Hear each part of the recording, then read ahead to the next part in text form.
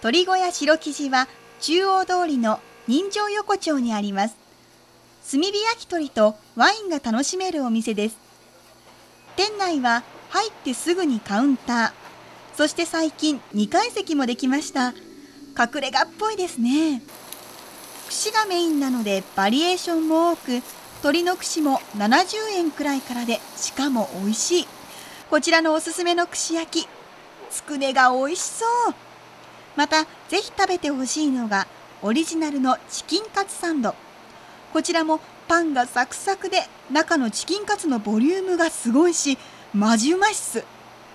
オーナーは27歳と若く大阪でわずか1年の修行後サーフィンが好きで宮崎で独立。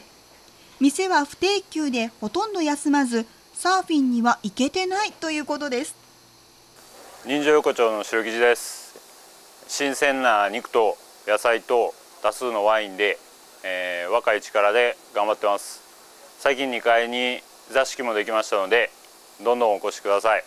お待ちしております。